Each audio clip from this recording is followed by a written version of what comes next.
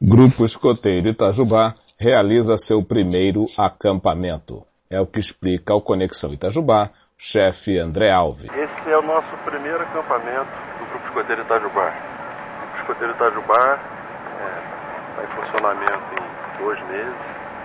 Né? Nós estamos acampando aqui é, na Fazenda Paiol, que fica aqui na área aqui da, do centro administrativo aqui, próximo à Prefeitura Nova. A gente ficou muito feliz com o comparecimento dos membros. Nós tivemos aqui a tropa escoteira, né, que são os garotos de 11 a 15 anos, e tivemos aqui a Alcateia, que são os menores de 7 a 10 anos. Da Alcateia vieram participar 24 crianças, da tropa escoteira 23 crianças, dizer, quase 50 membros.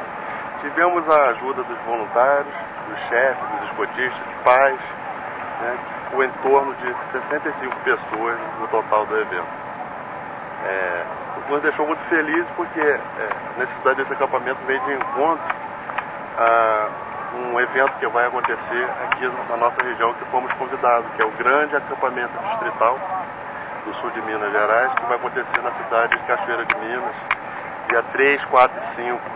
Né? Então o objetivo desse adestramento foi prepará-los para participar desse evento. E no mais, no sempre alerta, obrigado aí pela cobertura.